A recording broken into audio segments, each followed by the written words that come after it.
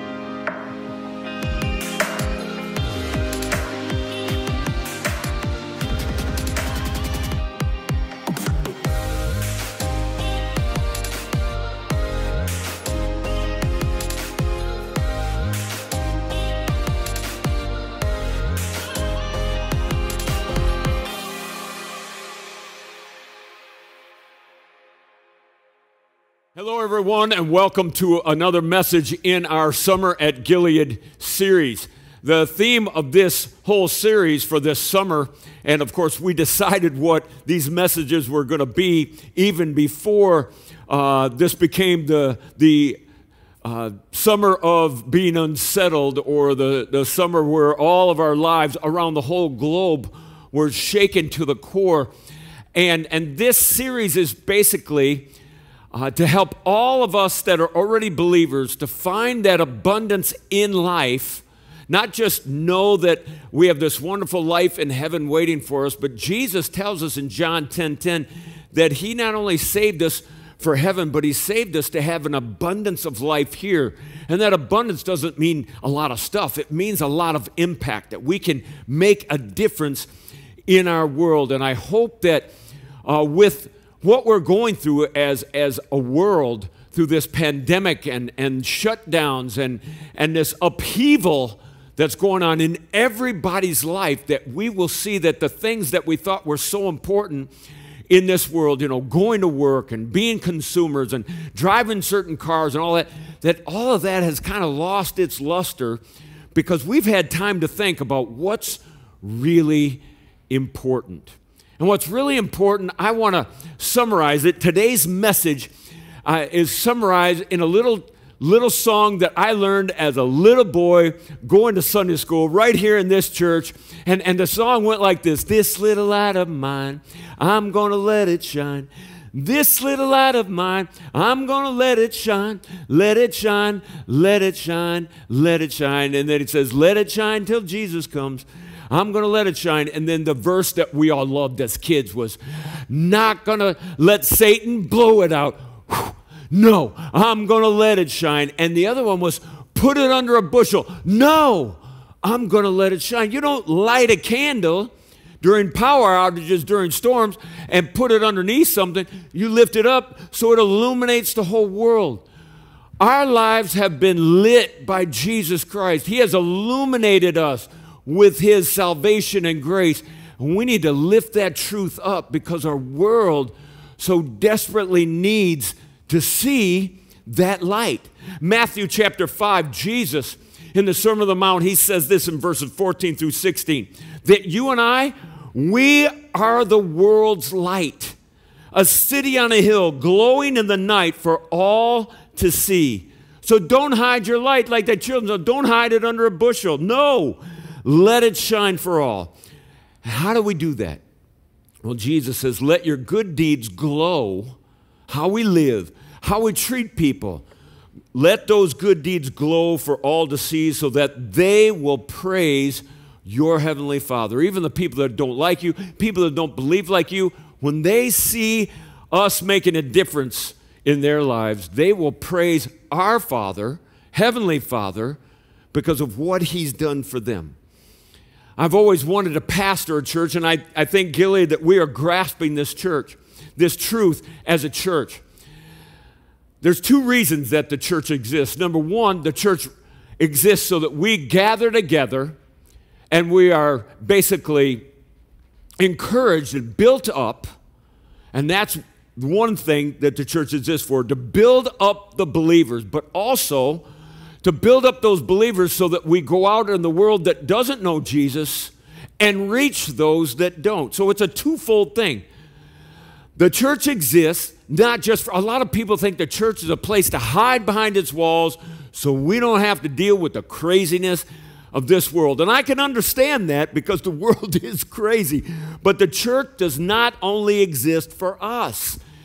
It does exist to build us up in the faith so that we can go out and minister and make a difference. The church also exists to reach the world. It's a twofold purpose. And one out of whack with the other makes the church kind of unbalanced. The church that says, man, it's all us four and no more, and becomes a holy huddle. And that's really not what the church was for.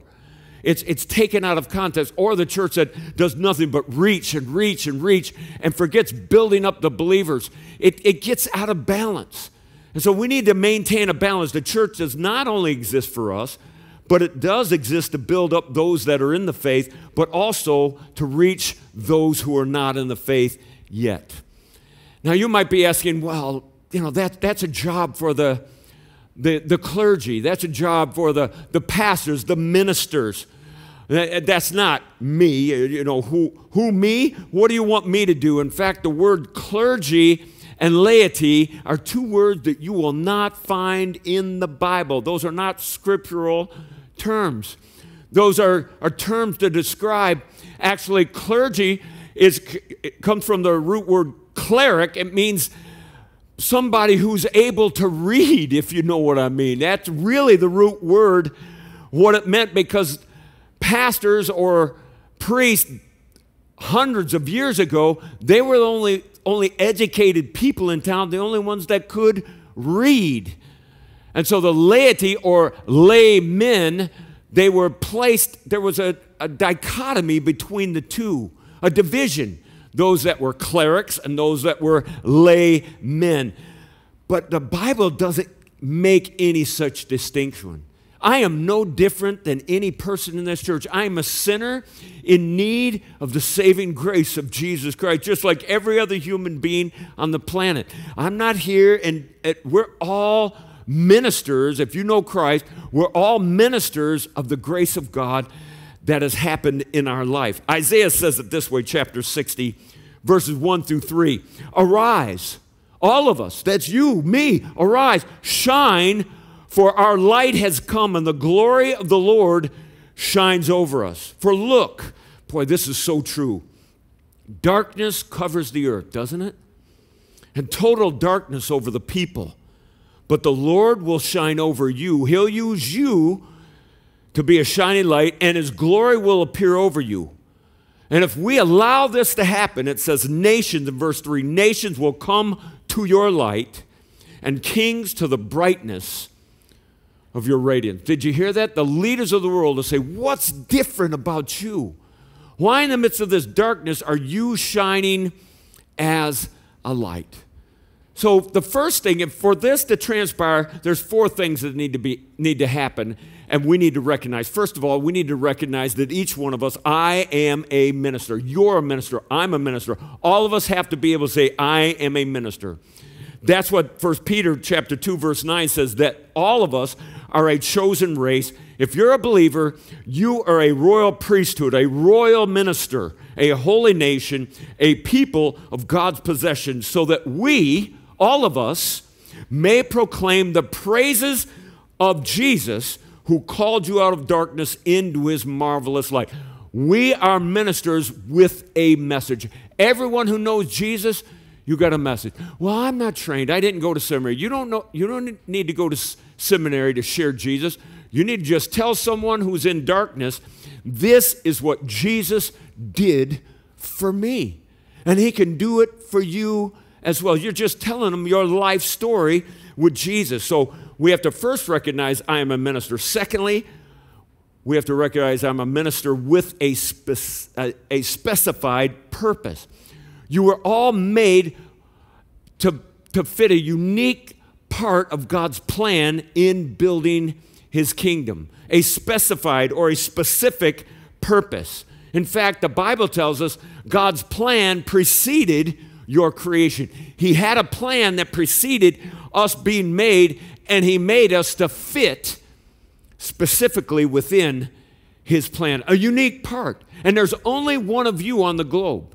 There's only one believer on the globe made like you to fit your specific piece of God's puzzle in ministering in this world. And there's nobody else to take your place. It says in Ephesians 2:10 that we are God's creation, created in Christ for good works, which God prepared, I love this, prepared ahead of time before we were created so that we could then walk in them and participate in the process or the purpose for which God created us for. So I am a minister with a specified purpose, three, at an opportune time. Why do we live in this place and at this time? Because God made us and fit us specifically to live at this opportune time. It tells us in Ephesians, the fifth chapter, Paul writes, in verse 15 and 16, pay careful attention then how we walk. He called the Christian life a walk. one step at a time. So he said, Be careful with your decisions. Okay? Be, because we should make decisions not as unwise people, but as wise people. And I love this next phrase making the most of the time. The word there means opportunity.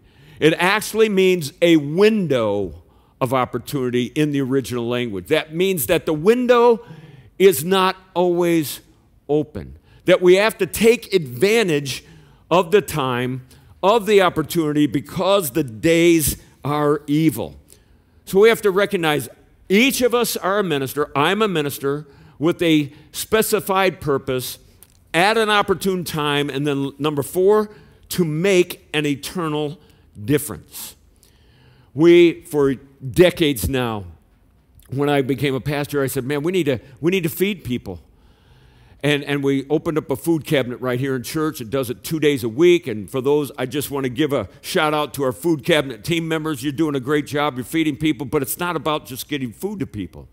See, we can feed the whole world, but if we feed them and don't give them Jesus, we've not accomplished what God has for us. The reason we feed people is for the opportunity to give them the gospel. It's food plus the good news of Jesus Christ. When we send teams to Guatemala to uh, the village that we minister there, then we build houses, we give them gifts, we meet physical needs in their life for the purpose of giving them the good news of Jesus Christ. Because that the good news is what makes an eternal difference. We have to combine our good works with the good news. First Corinthians tells us that there's works that'll burn up, good things that will burn up and not make it into heaven, but there are things that make it into heaven. And what is that? Things that we attach the gospel to, the good news of what Jesus Christ did for us. It says in 1 Corinthians 3, verses 12 and 13 if anyone builds on the foundation, of Jesus Christ with gold, silver, costly stones, or wood, hay, or straw, each one's work will become obvious, for the day will disclose it, because it will be tested or re- revealed by fire. What will be revealed? Whether or not it's lasting, whether or not it's eternal. See, fire burns up wood, hay, and stubble, straw, but it does what? It purifies gold, silver, and precious stones. So, with our opportunities, there's an, there is a way to make it eternal that the rewards will go with us. And that's why the Bible, Jesus, so many times said, make sure you don't put your treasures here because they'll burn up. Put your treasures there where they will last forever. And what does that mean? Giving the gospel to souls that need it. It says, it will be revealed or tested by fire, and the fire will test the quality of each one's work. Whether it was a temporary work, is a good thing, you fed people, but you didn't give them what they really needed. And what was that? The good news of Jesus Christ, because that takes care of someone for all eternity. So when you put all those things together, it's making these decisions. I am a minister with a specific purpose at an opportune time to make an eternal difference. Now, you're, you're saying, man, that sounds great. So, what am I to do? Well, the next decision you, you need to make is to find your ministry, what God has put you here for. And Ephesians chapter 4 tells you that part of my job is to help you discover what you're here for. In Ephesians 4 11 and 12, it says, Now these are the gifts that Christ gave the church the apostles, prophets, evangelists, and I'm, I'm on that list of pastors and teachers. And what did God give gift me to do? To help you find your purpose. Because he goes on to say, My responsibility as a pastor is to equip, to build up, to inform God's people of what your purpose is so that you can do what? So that you can do the work of the ministry. And then the process, we build up the church to reach its potential in helping others find their, their ministry and their purpose so that we can reach those that don't even know Jesus Christ. This is the true body of Christ. My job is to help you discover that so that you can do the work that you were made for, the purpose that God put you here for. Isn't it amazing that during this pandemic, all the things that we thought were so necessary and we could not live for out, we found live without, we found out, yeah, we can live without them.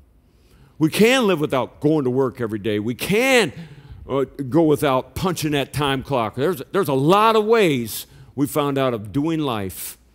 And we thought, I, I, I couldn't do without that. And we found out, yeah, we can. We can do without a lot of things.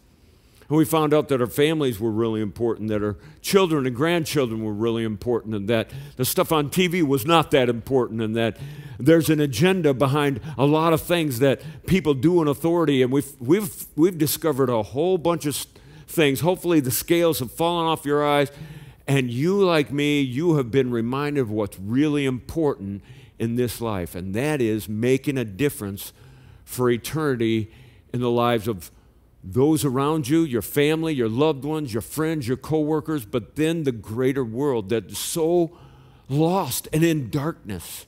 We have been called to be that light. So, how do we find what we're made for? First of all, you will find it through your gifts and passion. There are things that you're gifted to do and that you're passionate about. It wasn't an accident that you're passionate about certain things and other things you don't really care about that you're gifted to do things. I like to say it this way you just have eyes for certain things. There's certain things that are just appealing to you, and those are usually the areas of your giftedness. There are certain people that are gifted for. Uh, uh, organization, and I'm not one of them. I'll tell you, I'm, I'm gifted for encouragement, but my desk is not an organized place. There's other people that I work with here at church, and they're, they're gifted in that organizational thing, and everything on their desk is just so. I'm not going to tell you who that, but Sean and Dean, you know who you are. And, and their offices are neat and tidy, and they have lists and charts and do all this stuff. And if I had to make a to do list, it would take me all day to make the list because why? That doesn't come easy for me okay? But for others, you can't move until you make a to do list. And you make that to do list and you're off firing. Why? You have eyes for that. That's the way God specifically made you. You have gifts, you have passions. God just wants you to leverage them for the kingdom. It says in Romans 12 that all believers, according to the grace given to us, there's not a believer that doesn't have this grace gift in their life. We have different gifts, different charis, we all have a super, supernatural divine enablement to go along with our personalities, our natural giftedness. But God says, if you're a prophet, use it according to the standard of one's faith. If you're a server, use it in service to others. If you're gifted in teaching, use it in teaching. If it's exhorting, that's why I think my then then build people up, encourage them. If it's giving, then be generous. If it's leading, then be a diligent leader. If it's showing mercy, then give out that mercy with cheerfulness.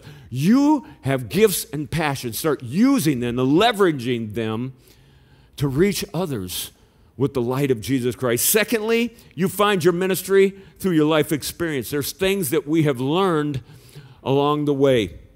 A lot of people ask me, ah, Are you bothered that that you're bald? And I said, No, I earned this baldness. I earned all these wrinkles. I earned the scars. I, am like, No, these wrinkles came at a cost. The scars that I have, they come with the story behind them. I don't want to erase that. Life experience, especially the times where we get the scars and get the wrinkles, man, I w- I wouldn't trade anything for some of those life experiences. Although when you're going through them, many times it's very difficult and, shall I say, painful even at times. But life experience, hopefully you learn things. You don't run into a wall and say, Boy, I can't wait to run in that same wall tomorrow. Hopefully you learn, you know what? That wall's there, it's not going to move. I need to go around it. That's life experience. Romans 12 says, and, I love this out of the message. Paul writes, So here's what I want you to do, God helping you. Take your everyday, ordinary life, your life experience, your sleeping, eating, going to work, and walking around life, and place it before God as an offering. Embracing what God does for you is the best thing that you can do for Him. So you have gifts, you have passions, you have life experience, but you also have, and this is what many times people say, well, God can't use me because I have this pain in my past. And they think that that pain and that horrible thing that you went through disqualifies you from God using you, which it couldn't be further from the truth. In fact, many times our pain uniquely qualifies us to minister to somebody else going through the same pain that we have experienced. Someone that God has delivered from substance abuse. They are the uniquely qualified person to help somebody else struggling with substance abuse. Those that have gotten their finances in order when before they owed everybody in town, they're uniquely qualified to help somebody else get their finances back on track. Because our pain uniquely qualifies us to be a blessing to somebody else. It tells us in 2 Corinthians chapter 1 verses 3 and 4 Paul says all praise to God the Father of our Lord Jesus Christ. Our God is a merciful Father and he is the source of all comfort. Can I get an amen there? I mean God is just full of comfort for our lives. I love this. It says that he comforts us in all of our troubles but he doesn't stop there, and he does. God is a his mercies are new every day. He has comfort for us in our pain today. But He doesn't just do it so we can say, Whew, glad that's over. Man, I don't want to live through that again. No, that's, that's not what He comforts us for. It says He comforts us and gets us comfort in all of our troubles so that we can be a comfort to others when they go through the valley that we went through. See, when they are troubled, we can come alongside them and be able to give them the same comfort that God has given us. So you've got some gifts, you've got some things that you're passionate about, you've got some life experience, but we also have some pain that God has comforted us in. And when you put all those things at work and being a blessing to others, you will find your ministry. You will make a difference for eternity. And here's Here's what I love most about you will see it be a blessing to others, and you yourself will feel very fulfilled, and you will live a purpose filled life because God has used you to make a difference for others for all eternity.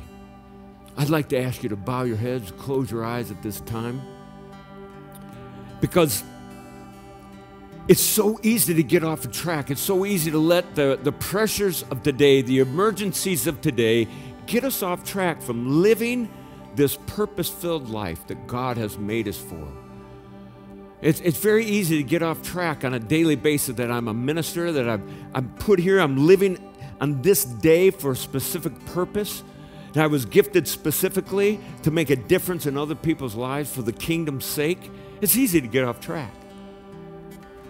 But this message, that's why we're doing this series this summer to get us back on track that God has given us this wonderful gift of life and the second gift of eternal life so that we can bring that light to the dark world around us. And He's not asking you to do something out of drudgery or something that you hate.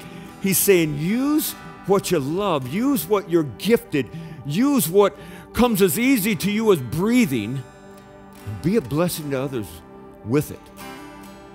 And He will bless that and make a difference, and your light will shine forth in this dark world that we live in. Heads bowed and eyes closed. Let's pray together. And if you've never let the light of Jesus illuminate you from the inside, I want to pray for you right now. And, and just right where you sit, listening to this message, you can pray wherever you're at and you can say, Jesus, I need you to do for me I'm, I'm in darkness. I don't know where to turn. I'm turning to you, Jesus, in full faith and surrender and asking you to place your light inside of me, to save me and give me a hope and a future. Just tell him right now, Dear Jesus, I love you for dying on the cross for me. I believe in you with everything that I have. Now, Jesus, forgive my sins. Come into my life and make me a light as you shine your light within me. I surrender my life to you today. Thank you for being a merciful God. And if you're already a believer, let's pray together. God, use us in a mighty way. Help us to understand the gifts and passions. Lord, the opportunity that you have placed in our lives to shine your light in the world around us. Lord, get us back on track as a church to not just encourage and build each other up, but be that light that shines in a dark world so that they will come to us and say, Why is your light shining? And we will give glory to you, Father, and make a difference for eternity in others' lives, thus bringing immense fulfillment to us. In Jesus' name we pray. Amen and amen. Thanks for joining us online today. I want to thank you. I can't believe it's already the second week in August. It seems like this summer is, is flying by, and I want to, I, I, know that hopefully you're like me, that school is starting up soon, and, and you're looking forward to that, but that also means that people are, are squeezing in those last summer vacations. So I just want to encourage you to remain faithful in, in the giving of tithes and offerings so we can remain faithful in, in reaching and making a difference in missionaries all over. This, this pandemic has hit all of our missionaries, all of their, and our church planners, their, their lives have been uh, altered as well as ours. And a lot of our missionaries and a lot of our church planners, especially in foreign fields, they have gone from doing church to becoming food distributors because as America has, has ground to a slowdown, that has interrupted the food chain all across the world. And so your faithfulness is making an immense difference to all of our missionaries all around the world and here right in Downriver, Detroit. You can give online, you can give with your phone, you can mail your gifts in. Uh, we are continuing to do services at 10 a.m. We're looking at uh, changing that sometime in the fall, but you can join us. We're practicing social distancing. We got a place for you here. If you're not comfortable with that, you just continue uh, joining us online on our daily uh, devotionals and also with our weekly messages. But God bless you, and let's let our light shine for the world to see. Lift up our eyes, see the King has come.